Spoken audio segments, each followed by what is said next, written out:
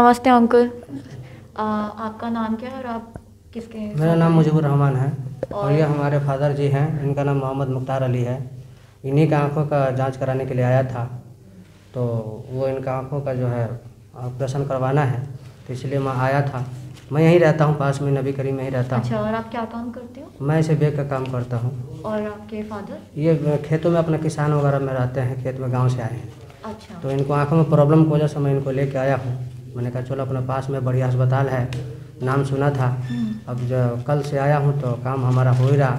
जो जो टेस्ट करवाया हूँ वो हमारा फटाफट काम में जो कोई डिस्टर्ब नहीं हुआ जितना जल्दी हो रहा वहाँ भेजते हैं वहाँ भी काम फटाफट मिल जाता है। ऊपर गए वो भी काम हो गया। काम में कोई दिक्कत नहीं हो काम आसानी से हो रहा।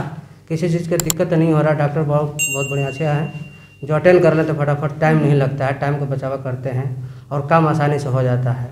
और पैसों की कोई समस्या पैसों तो की कोई दिक्कत नहीं है अभी पैसों का मतलब जो है ना बहुत पैसे कम लग रहे हैं यहाँ पर। पैसों की कोई दिक्कत नहीं है। अच्छा जैसे जो बाकी अस्पताल है उनसे पैसे यहाँ पे कम है? वहाँ से पैसे कम है बिल्कुल कम लग रहे हैं। अब जहाँ जाते हैं वहाँ पैसा ज़्यादा खर्च वहाँ मतलब हमारा कम कम पैसे में काम हो जाता है। वहाँ पैसे बहुत कम लग रहा है। ये सुविधा ठीक है यहाँ पर ऐसी कोई दिक्कत वाली बात नहीं है। और जो भी साथी अगर कराना चाहते हैं तो यहाँ पैसे कम लग रहे हैं करा सकते हैं ऐसी कोई दिक्कत नहीं है। हाँ ये नहीं है कि जो है ना बाकी अस्पतालों की तरह जो है ना इतना ये लगेगा उतना वो लगेगा इतना ही लगेगा यहाँ पर पैसे कम लग रहे हैं। हर आदमी करवा सकता है नॉर्मल से नॉर्मल गरीब से गरीब और बढ़िया से बढ़िया आदमी करवा सकता है ऐसी कोई दिक्कत नहीं। यहाँ पर काम कराने के लिए कोई ये नहीं है इशू नहीं है कि जो है ना ये अस्पताल ऐसी है। ये अस्पताल बहुत बढ़िया है काम हो रहा बढ़िया है यहाँ पर कोई सी दिक्कत और जैसे यहाँ पे पैसे कम है तो ऐसा तो नहीं कि जो इलाज है वो उसमें कमी करे कोई? नहीं नहीं इलाज में कोई कमी नहीं करे। जहाँ पर जो लग रहा है वहाँ काम पूरा कर रहे हैं। बाकी ऐसे नेक्स्ट टाइम जो भी अगर कराना चाहते हैं तो देख लेते हैं। वो तो आने के बाद ही लोगों को पता चलेगा कि हाँ कैसे अस्पताल में काम हो रहा है।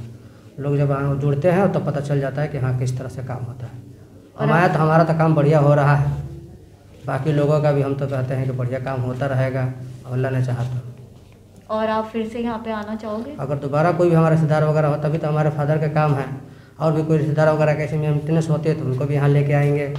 और यहाँ पर दिखवाएँगे और इलाज करवाएँगे। ठीक है। Thank you thank you